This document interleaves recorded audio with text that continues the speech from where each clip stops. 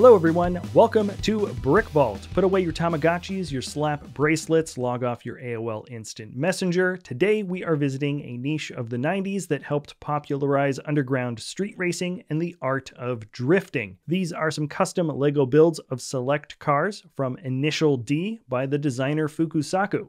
First, a manga that started in 1995, then a show in 98. The series follows Takumi Fujiwara and his unassuming Toyota Trueno AE86 as he slowly but surely turns into a street racing legend of Japan. Included here is also his father Bunta's Impreza STI, the first fourth and final stage of Keisuke's Mazda FD RX-7 and the dastardly Aikawa's Lancer Evo 5. On its surface, Initial D is a coming-of-age story combined with story arcs, sort of like Dragon Ball Z. You race, learn a lesson, bigger challenger steps up, train harder, then race again and repeat. But there is something strangely specific when you start paying attention to the characters race locations, and cars. The creator of Initial D not only based his main character allegedly on a real street racing legend, but driving techniques have very technical and specific descriptions in the story. Mountain passes and even specific corners directly reflect real places frequented in the street racing community, and each car in the manga has a page dedicated to their technical specs and custom mods, even when those things are not animated or even referenced anywhere else it has oddly realistic elements of the Japanese underground racing scene that had enough teeth to hook a generation of drivers all over the world. Fukusaku, the LEGO builder, focused on a handful of some of the more important cars in the series and fleshed out their builds with a lot of detail. Before I get any further into each model, let me first just say that the instructions can be found at our web store, brickvault.toys. Included with each purchase is the PDF step-by-step building guide, a digital parts list for quickly uploading and ordering all the pieces you'll need. All of our models are built IRL, tested for strength. Instructions are tested so they're easy to follow along. And if you wanted to print stickers for extra tofu shop detailing, we've also included a pre-sized PNG. Buying instructions is a great way to help support us and the talented people we work with, like Fukusaku, who has a wide variety of models under his belt, like a ton of micro-scale Star Wars vehicles, including the beefy micro-scale Republic frigate a tiny Republic frigate, and he also knocked out some fig scale speeders and a very well proportioned dump truck and loader. Any and all support is greatly, greatly appreciated, so hit that like button, links in the description below, that's brickvault.toys, and let's jump in with the car that started it all. The Fujiwara Tofu Delivery Toyota Sprinter Trueno GT Apex AE86, aka the White Ghost of Akina, aka a Corolla. That's right, this downhill demon was no more than your standard cheapo clunker at the end of the day, but this was also the reason why his win ratio was just so incredibly impressive. In order for Fukusaku to really sink deep into the details of the LEGO build, he upscaled the car a little from fig scale, something like closer to the contemporary Speed Champions sets that you see today. And looking closer here, you can see a straightforward tapering in the front by the hood with a clever use of a large claw piece on either end. In this area, there is essentially the only interactive function of any single vehicle in the lineup, and that is the pop-up headlights. It's a simple enough feature to manipulate and pretty important one to include as Pretty much all the driving is done at night, and these headlights are essentially always up. Now, the outline of the windscreen and back window are highlighted with some basic mod plates and bars, as is the case for all of these models. The interior has dark red highlights, a shifter, and Takumi's water cup for practice. There's some great sizing and spacing in the back for plates and brake lights, and all in all, it's a fun model with a couple of fancy techniques that help make this car look even more accurately not fancy fancy in real life. There is one mod you can add or change on this vehicle, and that is the black hood for when he replaces his blown out engine with the uh, 20 valve silver top. So, depending on the point of the story that you prefer, this is also an available look. Next up is his father Bunta's car. The Subaru Impreza STI was at the top of the rally scene at the time, winning gold several years in a row, and this vibrant blue and gold rims is an iconic clashing set of colors that defined the look for this car. In terms of the storyline, Takumi got to practice with one of the best racing vehicles of a generation,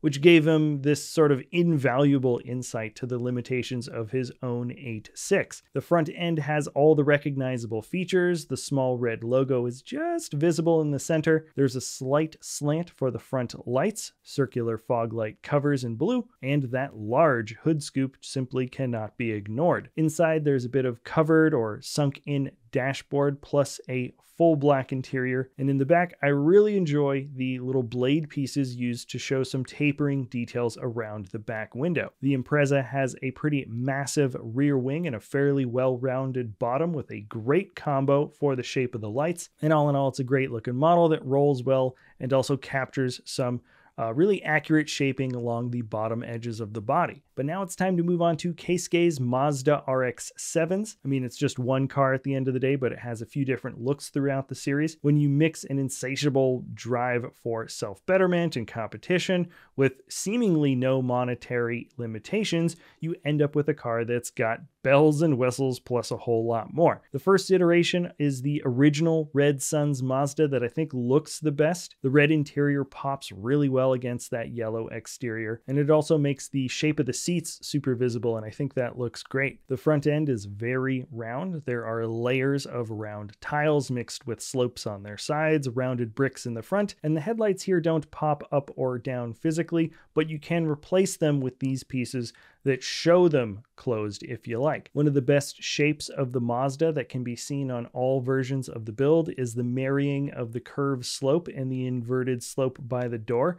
It's pretty subtle, but really necessary for getting the feel of this car. The rear wing is pretty high here with some nice rounded areas in the back. And now let's get to what they call the fourth stage of the car in the series where the mods have changed up the look a bit. It feels pretty similar, all things considered. The rear wing though has come down in size. It matches the body a bit better and probably gets you better downforce to drag ratio compared to the original, but I don't really know. Now you can argue which looks better in the comments below personally, I like the red interior better, but here it is in all black for this version of the car. And actually, there are quite a bit of subtle shape changes in the front grille and headlight area. Overall, the face feels more or less the same for this iteration, but the build is in fact actually quite a bit different to get all those little minor changes to pop through. Now, the final version of the RX-7 has some more substantial changes. There's a bit more of kit all around at the base now. You can see it in black along the bottoms and an extra bit of lip along the bottom sides in yellow with a deeper curve on the side too. And then when you get to the back, there is more kit and it's all in black. Plus, when you go higher up, the rear wing is a GT2. So the mounts are thinner and black, and then the actual wing itself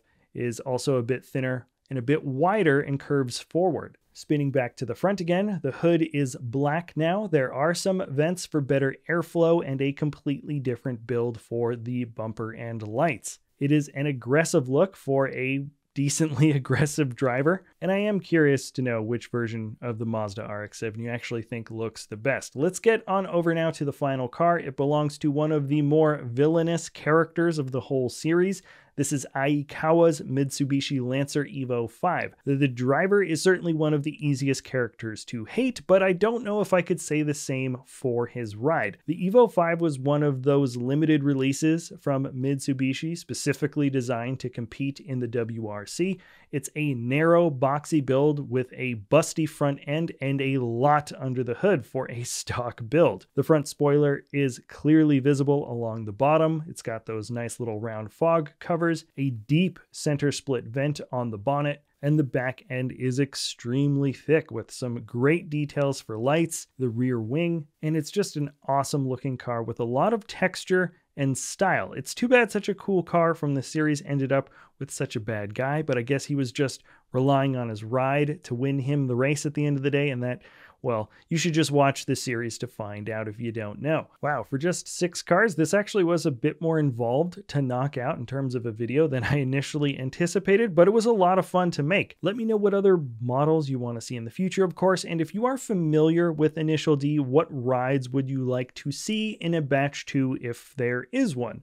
Top of the list for me would be Shingo Shoji's Honda Civic, mostly because a friend of mine had basically the exact car and we used to beat it up all the time. But, anyways, that's just me. Remember, you can get the instructions at brickvault.toys. We sell them individually. There's also a couple of different bundles. Everything's linked in the description below. And thank you so much for watching this whole video. If you enjoy our content, feel free to like, subscribe, comment, share, and we'll see you next time at Brickvault.